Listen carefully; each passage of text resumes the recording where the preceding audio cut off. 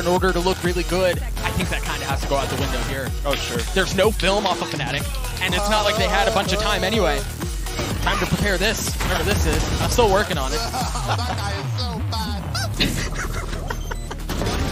It's great to hear Asuna as well. I haven't budged Yeah.